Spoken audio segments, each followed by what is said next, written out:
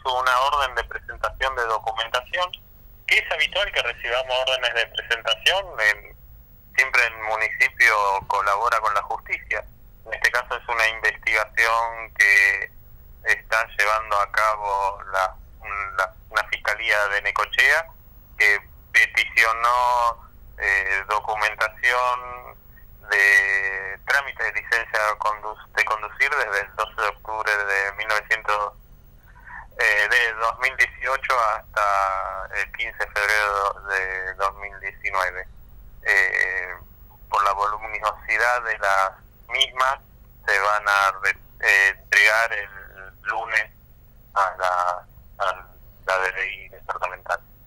Eh, es un eh, acto regular, siempre nos piden diligencias judiciales.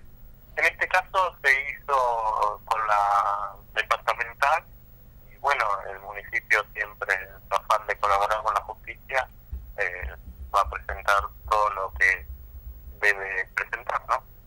Doctor, para clarificar aún más a nuestra teleaudiencia, si le parece bien, recordamos eh, cuál es la raíz de esta investigación y, bueno, que ha desembocado en esta diligencia en el centro cívico.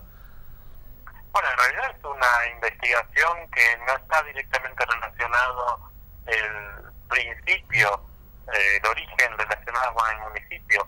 Eh, después, bueno, la causa judicial puede tener algunas eh, aristas que lleven a la necesidad a la justicia a peticionar esta documentación. Pero eh, el origen no tiene nada que ver con el municipio. Bien. Doctor, eh, ¿usted ha tomado contacto con funcionarios de la policía, la justicia? Participé de la medida judicial, estuvimos los empleados de, de licencia de conducir, la doctora Blanco y yo representando al área legal y Maximiliano Botiquieri como jefe del área. ¿no? Bien, la diligencia por parte de la policía, la justicia, se efectuó en forma normal.